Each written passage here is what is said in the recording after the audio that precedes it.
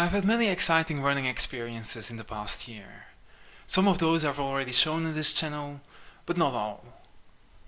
So let me look back at 2017, while showing you some footage of my last long training run before the Berlin Marathon. Running from Berlin-Köpenick back home to Moabit. I started the 2017 competitive season by going fast, flat, but not very far, with personal bests on the 10k and the half marathon. I ran those races without camera, to avoid the necessary weights, but also because road races don't provide as nice footage as trails usually do. The first trail race of the season was also a success. Unfortunately, I just missed the 5 hour mark on the 49 km Harzquerung. But I ran a good race, and I did not leave much on the table.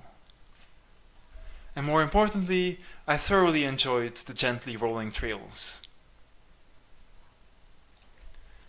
Then there was the Sachsen Trail, where I took a tactical risk that backfired spectacularly. But I considered it as a training run mostly so I wasn't too disappointed about it. Four weeks later, at the Swiss Alpine, which I considered the main event of my year, something backfired even harder. And I still can't pinpoint exactly what it was. Altitude obviously was a factor, but in itself not an explanation. A lengthy medical checkup couldn't find an explanation either, but I did get the all clear, allowing me to run the Berlin Marathon in September without worrying about dropping dead. After two failed attempts to beat my personal best on the marathon distance the year before, I was very motivated to finally beat that previous time of 3 hours and 26 minutes. The weather on race day was grey and rainy, but the temperature was perfect for me. So unlike the African elites at the front, I considered the conditions to be quite good. I got into the rhythm immediately, nailing my intended pace almost to the second without even paying attention to my watch.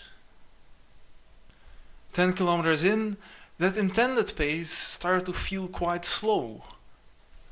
And following feeling rather than strategy, I started accelerating.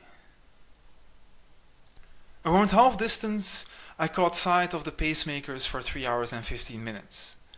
Since they had started well ahead of me, following them at a distance would be more than enough to achieve a net time below 3.15. At three-quarter distance, I still had the pacemakers in sight, but I started to fall back a bit. I figured that if I could catch them, I would be able to keep up with them. So I put in an effort and accelerated again, around the 30 kilometer mark.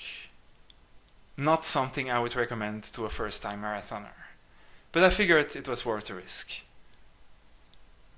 A few kilometers later, I still hadn't caught up and my legs were starting to complain. So the only sensible thing to do was to back off. Time for some risk management. I was well on track for a personal best, but I couldn't afford to break down completely. But even with a few kilometers at a slower pace, the 3R15 still seemed feasible. So after giving my legs a bit of a breather, I pushed them to the limit again in the last few kilometers. That race, the Berlin Marathon, was the last race of my year. A year of ups and downs. And how I would end the season would probably determine how I would look back on 2017. At least as far as running is concerned.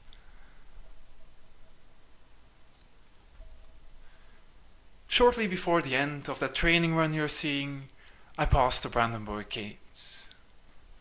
A few weeks later, in the last kilometer of the marathon, I would run through there from the opposite side, making a victory gesture. Then I would look at my watch and see that my time was going to be a few dozen seconds over 3 hours and 15 minutes. And then I would continue my celebration because my goal actually had been 3 hours and 20 minutes. 2017 Gauthier